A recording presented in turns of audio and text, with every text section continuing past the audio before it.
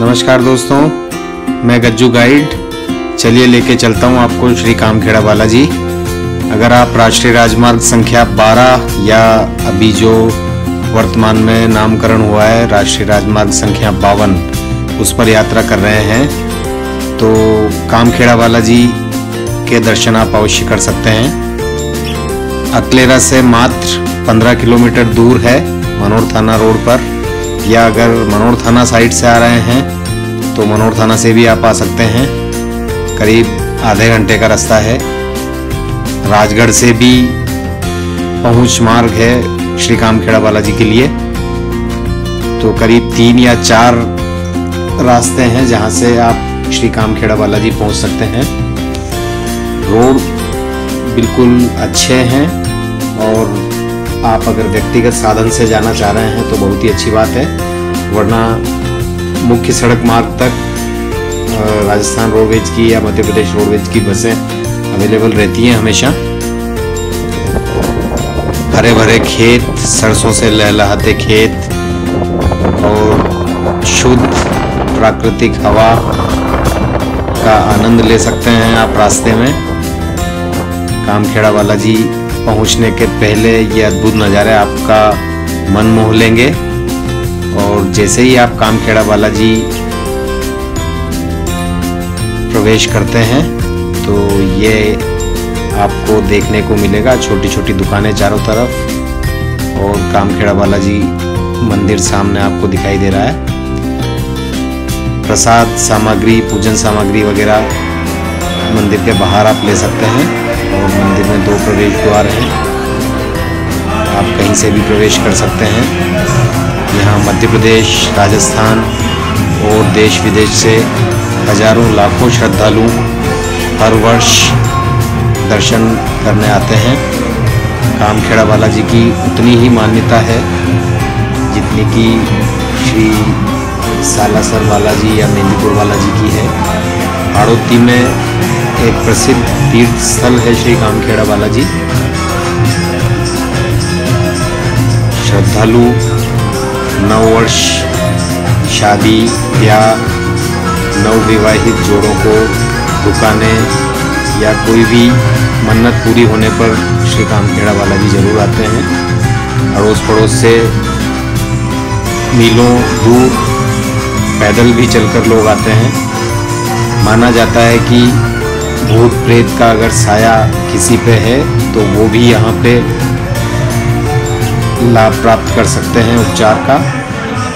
कामखेड़ा बालाजी, सबकी मनोकामना पूर्ण करते हैं, सबके कष्ट हरते हैं। आगे वीडियो में मैं आपको अच्छे से श्री कामखेड़ा बालाजी के दर्शन कराऊँगा। हज़ारों लाखों श्रद्धालु हर वर्ष यहाँ आते हैं।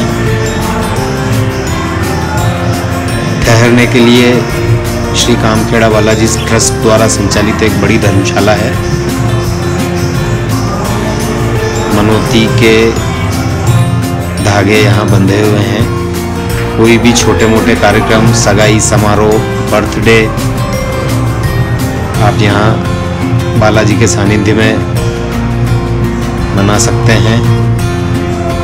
हवन, कीर्तन, भजन संध्या इत्यादि भी यहाँ आयोजित किए जाते हैं। सामने आप एक कार्यक्रम चलता हुआ देख रहे हैं।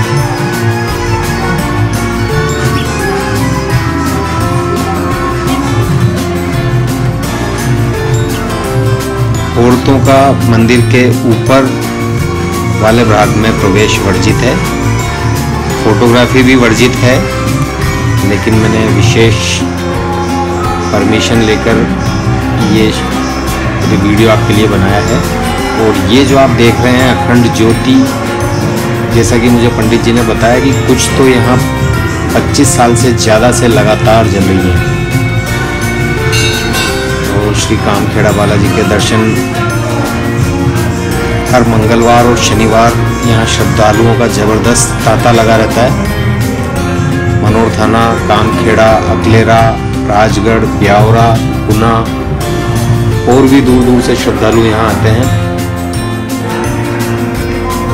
बाबा के दरबार में अर्जी लगाते हैं और जब मन्नतें पूरी हो जाती हैं तो किसी न किसी तरह से ईश्वर का शुक्रिया अदा करने यहाँ आते हैं। ये अखंड ज्योति आप देख रहे हैं।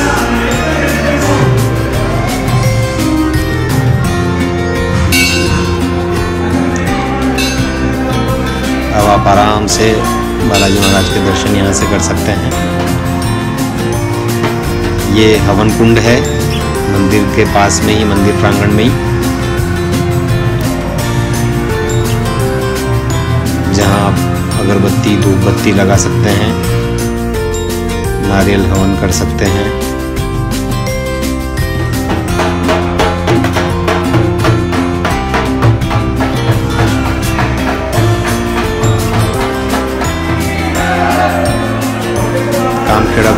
मंदिर ट्रस्ट द्वारा संचालित ये प्रसाद भंडार। आप चाहें तो प्रसाद बाहर से लाकर भी भगवान को चढ़ा सकते हैं और चाहें तो भोग लगा हुआ प्रसाद, घी के लड्डू, घी से बने हुए बेसन के लड्डू यहाँ से प्राप्त कर सकते हैं। बाहर छोटे छोटे ठेले जहाँ से आप कुछ खरीदारी कर सकते हैं अपने बच्चों के लिए, अपने खुद के लिए। प्रसाद और हवन सामग्री इत्यादि यहाँ प्राप्त कर सकते हैं। और श्री कामखेड़ा बालाजी मंदिर के पास में ही एक भव्य श्री राम मंदिर का निर्माण अभी चल रहा है, जो आप वीडियो में देख रहे हैं। संगमरमर से इसे बनाया जा रहा है। और देखने में लगता है कि यह अद्भुत मंदिर जल्दी ही बन के पूर्ण होने वाला है। इसकी नक्काशी कलाकारी देखते ही बनती है। जब बनकर ये तैयार हो जाएगा तो मॉडर्न आर्किटेक्चर का और हिंदू संस्कृति का एक अद्भुत संगम आपको देखने को मिलेगा।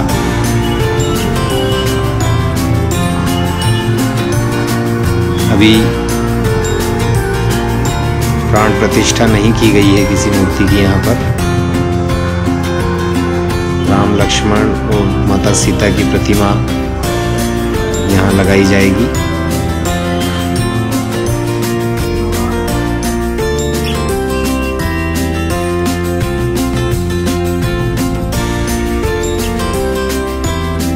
ये देखिए आप, कलाकारी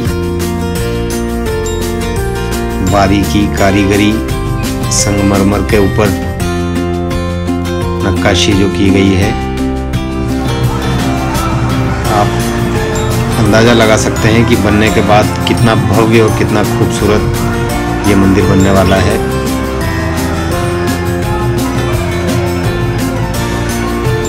अभी कार्य प्रगति पर है।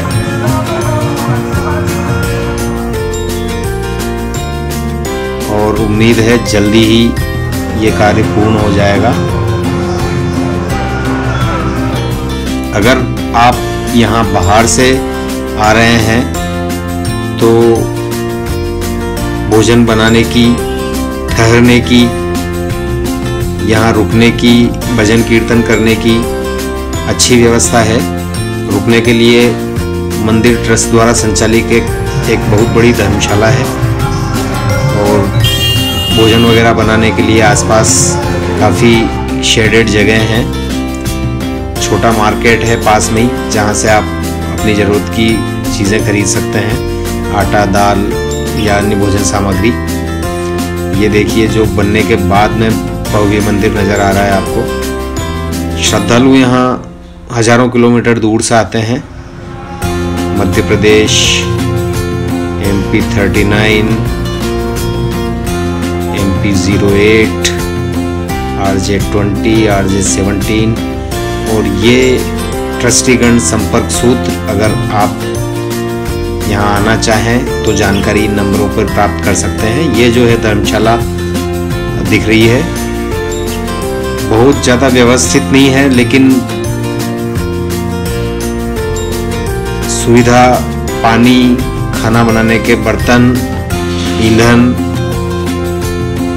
गद्दे, रजाई, ये सब यहाँ पे उपलब्ध है। छोटा मोटा सगाई समारोह भी यहाँ पे संपन्न किया जा सकता है। दो मंजिला इमारत है, काफ़ी बड़ी बनी हुई है। चारों ओर कमरे और बीच में एक बड़ा गार्डन है।